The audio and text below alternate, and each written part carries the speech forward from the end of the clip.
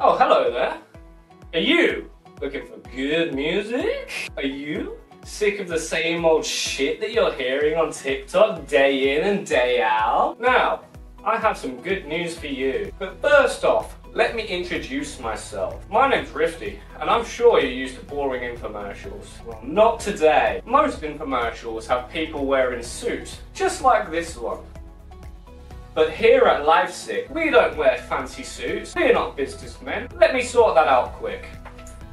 Oh, that's better. Now, the whole point of this infomercial isn't to deter you from other artists that are doing their thing on TikTok, but more so just to show that we got swag and we're the coolest. Ain't no other little emo kids out there making goth dance bangers in their bedrooms at 3 in the morning, just for you guys. And our philosophy at LifeSick is fire, fire, fire, swag, fresh, fire, swag, swag, swag, swag, swag, fresh, That's all we produce at LifeSick. Now, what is LifeSick, you might ask? LifeSick is a collective of internet vampires. We have no idea what their motives actually are. So if you see one in person, stay the fuck away. Now, if you see one online, perfectly safe. But in person, it will burn you. They will set your fences on fire. They will steal your cat. But most of all, they'll make you eat pineapple on pizza. Yes, incredibly dangerous. Now, I have a proposition for you guys. If you go and stream